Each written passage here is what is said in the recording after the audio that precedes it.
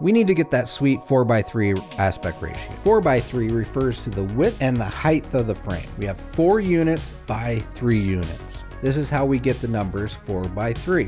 16 by 9 would be 16 units by 9 units and so on. If you divide 4 by 3, you can fit 1.333 more into the frame from the left to the right edge of the frame than you can from the top to the bottom of the frame. This number is important because no matter the resolution of your footage, we can get the correct 4x3 aspect ratio. And lucky for us, After Effects can do the math for us. In the width field, you can put a slash to divide 1920 by 1.3 333. Hit tab and now you can see our footage is 1440 by 1080. Hit OK and boom, 4x3.